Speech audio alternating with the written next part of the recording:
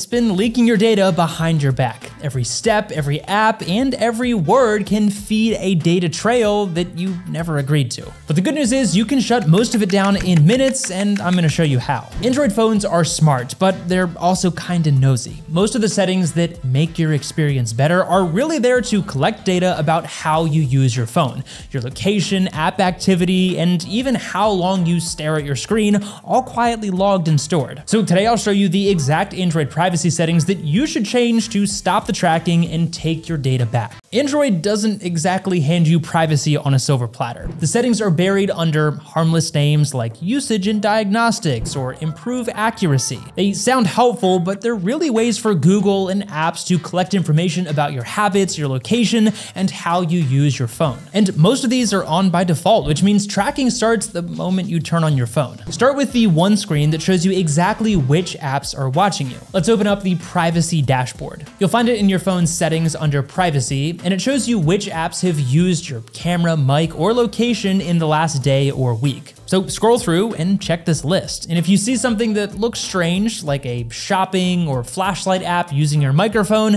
then that's not exactly normal. Tap the app and change its access to ask every time or just don't allow it. You can also reveal system processes to see what's running quietly in the background. If something looks unfamiliar, then just restrict it until you know exactly what it does.